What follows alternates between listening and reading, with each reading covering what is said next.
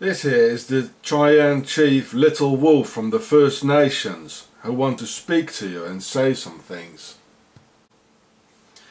His Indian name is Okungache, which should be rather translated with Little Coyote. Little Wolf lived from 1820 till 1904 and lived in the Black Hills of South Dakota and the Lame Deer Reserve in Montana. He belonged to the Himovi tribe inside the Cheyenne Nation and was the spiritual incarnation of sweet medicine, the spiritual ancestor of the Cheyenne. Well, let's hear what Chief Little Wolf wants to say to us now in the year 2013. My name is Little Wolf and I come from the Cheyenne Indians. I'm talking to, to you today through the mouth of a lady who I once spent a lifetime with back in the 1800s. I speak to her on a regular basis and I also speak through her on a regular basis. We are old enemies and we are old friends as all people have once upon a time perhaps been enemies, and perhaps once upon a time they've been the dearest of friends. The reason I want to speak about this today is to speak about friendship, to speak about what friendship really means and what people mean to each other. Because what we seem to find across the nations of America is that there's been so much hatred, so much bloodshed, and so many problems which have been caused by those who don't have anything actually to do with us, that have actually broken the will of the American red man. There are probably also a few of you listening now who are really wondering if this woman is actually bringing through my voice, but I can assure you that I am. And if any of you are clever enough to be able to channel yourselves, then you will understand that this lady is actually bringing me through. I was with the Cheyenne natives in the 1800s. I was one of their chiefs. We were attached to the Lakotas. We lived along the Cheyenne River, but we spent most of our lives in hiding in those years. We had a lot to do with a lot of other of the Native American Indians, particularly the Apaches. The Apache warriors from the south were quite a dangerous bunch and a few of them turned on us a few times, which seems to happen all over the world at the moment. We see brothers turning on brothers, and we see sisters turning on sisters. And we of the nations have become tired of this, and we of the nations would like to call for peace. But before we call for peace, I think we need to call for the wolf tribe to come back. As a wolf myself, I think you understand the concept of the wolf tribe if you have anything to do with the American natives. the wolves themselves actually come out of a very generous and beautiful surroundings. They are a pack of animals who actually have honor. They are a breed of creatures who actually live in simplicity. And they are of the gentlest of natures unless you touch their families. This is exactly what we are like. There are many of us in America who are waiting for the call for the wolves. And when the wolf call comes, I can assure you that there are many American natives who are waiting to take up arms again. I only hope this time that it will be a peaceful movement, that we won't have any more of our crosses to bear, if you understand the pun of what I mean by bearing or maybe even wearing a cross. I don't think any of us want to wear crosses anymore. I don't think we ever did. I don't think we ever wanted any of the bishops to rule in our particular cities. I don't think we had to watch our women slain and murdered, our children raped and brutalized. Neither did we have to watch the cornfields that were red with poppy seeds, or your corn from the south. I tell you, there's a lot of corn and cotton cotton fields in the south were usually red poppy fields. The poppy fields had an awful lot to do with the problems in America. I think you all know that poppy is part of the base element when we come into making some drugs. We can bring in opium. We can actually do some good with it if we need it when people have been harmed or endangered. But when we sell these drugs around the world, going through Havana, straight into Amsterdam's ports, which is what they were doing in the 1700s, then we understand where most of the drug trading came out of in those years. The lady speaking knows nothing of this. She is only moving my words. But I can assure anyone that's listening here today that Havana was a very large drugs capital, as was Amsterdam, as Amsterdam still is, as most of you know, and most of this went out of the southern ports of Louisiana. The southern gentlemen enjoyed very much their drug trafficking. It made them all very rich. I think you've seen the beautiful estates they used to live on and the slave trades that they had. Most of the slaves were bought with money from drug trafficking, and most of the drug traffickers actually came out of the South. But that's not to say that a Mr. Washington didn't also have one of those rather large, beautiful houses with a few slaves.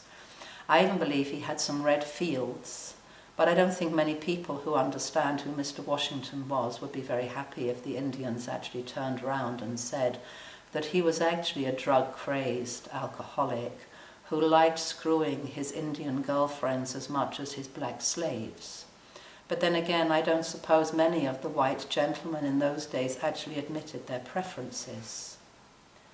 Their preferences went further than that. And although we don't need to go into this today, I can assure you that our nations were subjected to shocking harm. The black man was also subjected to enormous degradation. And one degradation that the Indian is very sad and sorry about is that a black man now sits on the throne of the United States. I believe it would have been wiser of the fools that hide behind the Bush organization if they had actually given America back to the red man. I believe we have more rights to govern our own lands than a black man who was actually not born in America but in Africa.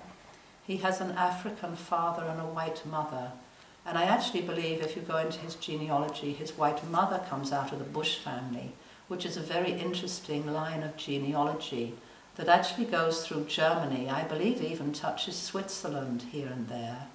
I think they have a few Saxons behind them and a few Hanoverians and quite a few Swiss families. I believe they're connected also to the English crown, the Dutch crown, the Swedish crown, and a few other rather heightened names around the world.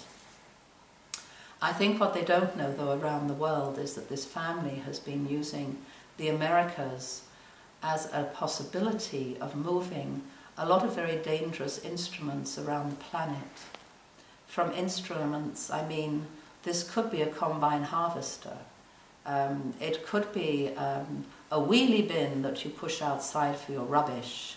Or it could be something a little bit more dangerous that we use when we go into battle. And certainly when we battle on the streets of trying to hurt your children so badly that they can no longer function anymore. When they put their dangerous arms on the streets, I don't have to say to you what I think they're using. I'm not going to endanger this woman with this. I won't blame anyone in their present living family we're just going to talk about the 16, 17 and 1800s when the same families were actually governing the southern states of America, along with a few of their northern allies, and when they were already putting a lot of drugs even onto the streets of countries such as Ethiopia, surprisingly enough. South Africa was also transporting huge amounts of drugs, I believe, through those wagons that were brought in from the north. I think some of the Boers came down from Amsterdam. I have a feeling they were pulling in quite a few of their drugs to take them down to harm some of the very nice Zulu people in the south. But then you know the Zulus are my brothers too, and what an extraordinary breed of mankind they are. They are open, honest, generous, and highly enlightened. I think that is a little bit more of our likeness than those that wear crosses and really don't know what to do with their neighbours, apart from try to harm them if they don't agree with them. We're coming to a close because I know the minutes are running away. I don't know exactly how much longer I have to speak, but I think if the gentleman taping would like to know more, I will speak again. I thank you all for listening, and I offer you my humble apologies for anything that I or any of my brethren ever did to any one of you in the past. I offer love and peace. Thank you.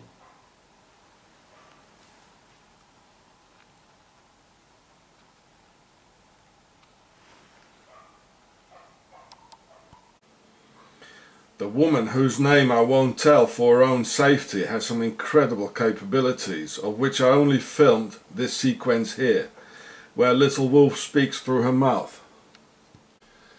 I know, though, that all leaders in the world are of pharaonic descent, including the chiefs and medicine men of the First Nations. Therefore, this shoe almost killed Little Wolf after the Battle of Little Big Horn in June 1876, where he miraculously turned up right after and just before the battle in which he never participated. Don't trust your leaders, guys and girls, cause they're all pharaonic, and we men are all alike. Omi Omitakuyasim. Look, it looks like a uh, like a medicine man or a, a chief, doesn't it? They're all pharaonic, all our leaders, the chiefs, the presidents, the the kings, the queens, the pharaohs, they all are. Look, and here's the uh, Indian chief. Well, doesn't he look like the pharaoh we just saw before? The same, the same headdress. Well, these are the leaders. I don't say the Indians are pharaohs. I say the leaders are all over in the world. And this is why people lose wars, because they listen to the leaders.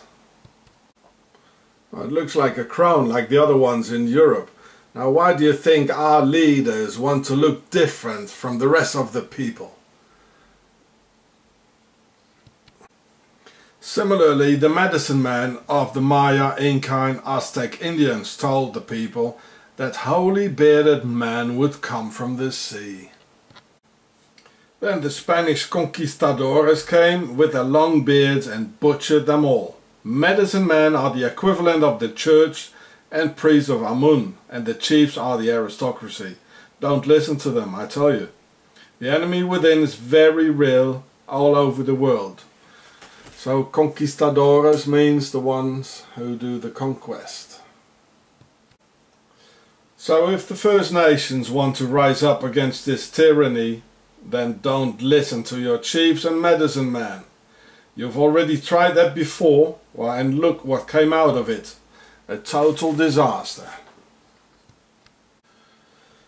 Little Wolf is right though that Obama has Swiss ancestors from Octogon and Mr. Christian Gunther from Bischwiller, Alsace, France, proved. This is what the lady said. Remember? So you can read it if you want. Just punch pause.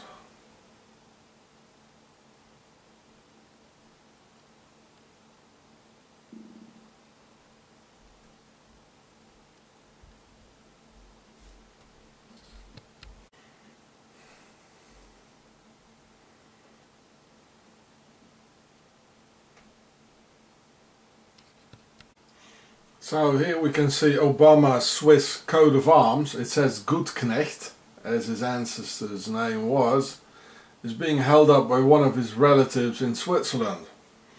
Johannes Gutknecht settled down from Bern, Switzerland in Alsace, France in 1720, just after the Thirty Year War, which ended in 1648 when the Swiss Templars from Octogon murdered 95% of the original Gallo-Roman Alsatians, so the Swiss could massively settle down there just as Obama's ancestor did before emigrating to Germantown in Pennsylvania. So here you can see one of his relatives in Switzerland. Hello, Mrs. Obama. So here you can read the whole story again in English. It was in a lot of newspapers especially in the Swiss-German part, uh, where all of a sudden they were very proud of it and they even said, well, we go to Washington and he's our friend. Well, you should see how they treat black people here, otherwise, if they're not just a, uh, um, a president of the United States, you know. As I proved to you in the Pharaoh show and the Octagon series that Switzerland is the biggest base for the Pharaohs. And Obama's Swiss ancestors most certainly helped massacring all the original Alsatians during the Thirty Year War by the Swiss, as he is doing now in Afghanistan and Iraq. It's in the bloodline probably, killing is.